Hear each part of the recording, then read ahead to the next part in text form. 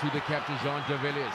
de Allende's first touch at international rugby. It was a satisfactory one. Same side, they go, the Springboks Francois Louw. Go forward ball for Ruan Pienaar.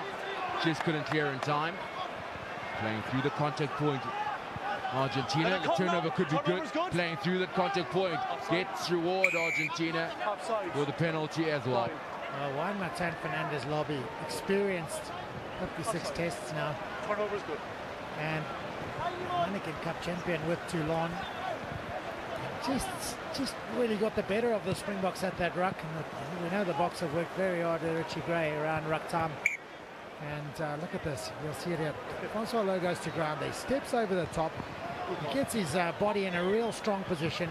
And as a result, allows his team to counter ruck well and win, win the turnover.